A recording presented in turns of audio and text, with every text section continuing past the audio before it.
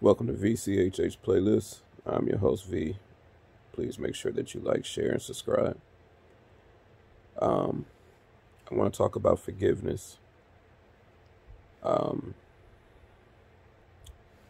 I've heard people say things like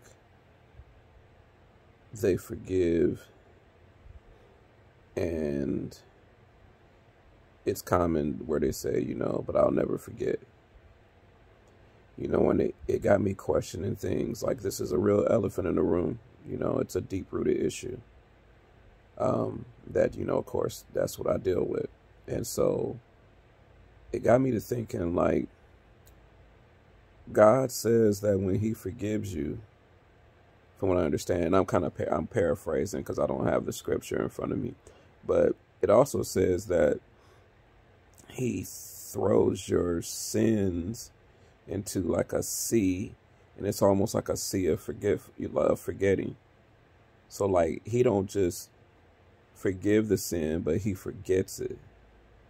So i'm wondering that have we taken that cliche like use it as a cliche at least of i'll, for, I'll forgive him but i'll never forget and then you got people who co-sign with you saying like no you don't supposed to forget and you know, and things of that nature. So, like, I'm up here questioning now, and I'm thinking because I want to look at things in the way God looks at it, and I want to look at it in His, um, in His image, and I want to be able to do that because we're supposed to follow Him as the example, and if that's what we're supposed to do, but we think that it's okay to forgive people but never forget, maybe we hustling backwards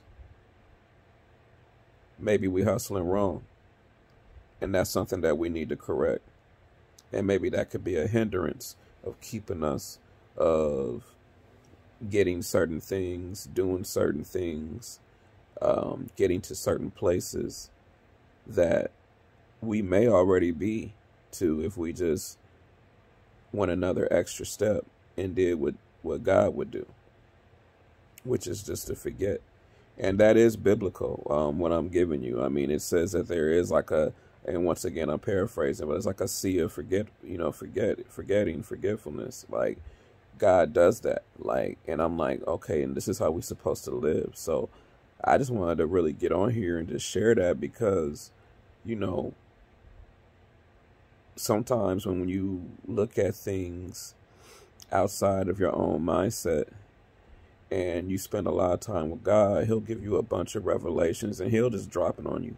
Um, I don't know if it's a secret to you guys or not, but I've been spending a bunch of time with the Lord lately.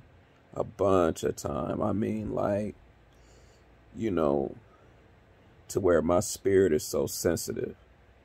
And um, it's a great place for me to be in.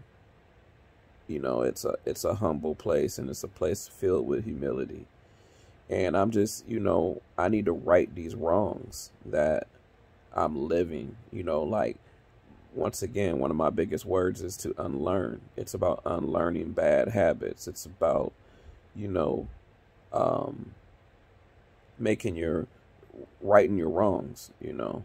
So forgiveness is a very important part of, I believe, your success with the kingdom of God. So, I don't know. Let's just evaluate that and let's deal with that. You know, let's take another look at that. You know, if we're not dealing with it how God would deal with it, then we're doing it wrong and we hustling backwards. So I just want to get on here and say that this is pretty short. So um, I love you guys. You know, please love each other. You know, share the gospel, and um, be kind to one another. In Jesus' name, peace.